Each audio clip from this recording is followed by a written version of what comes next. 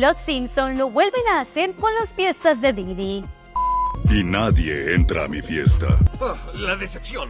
La traición, amigo. Ya nos habían dado pistas de lo que sucedía en las fiestas del rapero que tiene el mundo paralizado. Entre ellas, los Simpson volvieron a hacer de las suyas, desvelando en el famoso episodio 608 de la temporada 28 titulado El Gran Gordasmi, las estrafalarias celebraciones llenas de excesos donde el anfitrión era el hombre más aclamado por todos, es decir, Didi. Oh, una fiesta de blanco, como las que celebraba yo. Pero nunca nadie en Hollywood se había atrevido a mencionarlo. Y parece que quien está detrás de este programa de televisión conoce los oscuros secretos de las estrellas. Y por eso pensamos que predice el futuro.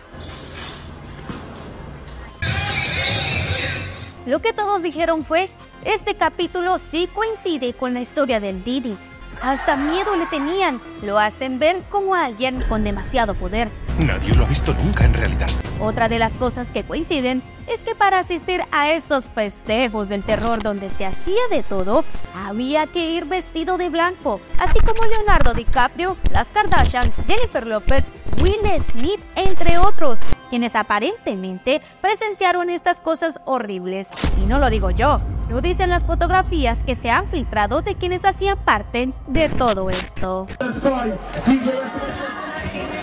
Aún así, esta representación del programa de TV es solo la muestra de una pequeña parte de la realidad, porque quienes pasaban días disfrutando de los excesos conocen el trasfondo y la oscuridad por la que hoy Puff está en prisión esperando una condena cuando todas las pruebas lo encuentren culpable. Pero no solo en Los Simpson hay pruebas, sino también en otras películas como ¿Y dónde están las rubias?, que contiene una escena que muchos ahora creen que fue una referencia en las famosas White Parties del rapero. Incluso la frase más sonada fue esta. ¿Nadie te dijo que era una fiesta de blancos? ¿Eh?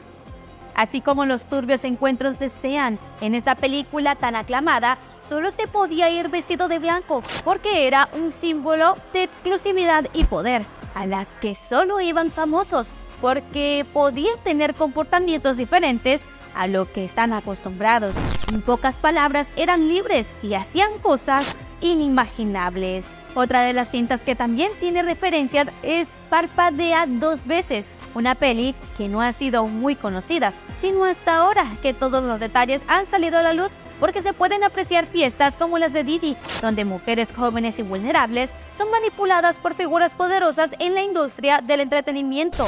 Y el personaje principal resulta que es un magnate de la música que utiliza todo su poder para explotar a sus invitados en estas reuniones privadas. Así que todo esto ya nos había estado advirtiendo, pero nadie había sido capaz de contarlo, porque este es el precio de la fama y algunos lo pagan muy caro. Yo soy Brigitte Pineda y nos vemos en la próxima.